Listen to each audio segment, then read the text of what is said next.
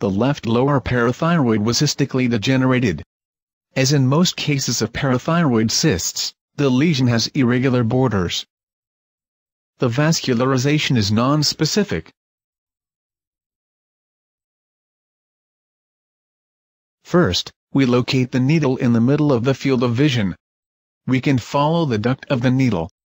We aspirated 4.5 milliliter watery fluid and left a small proportion of the fluid in order to ensure the visualization of the tip of the needle during ethanol injection.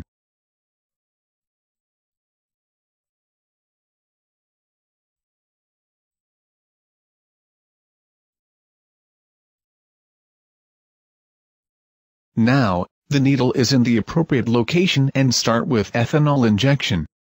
We administered 1.5 milliliter alcohol,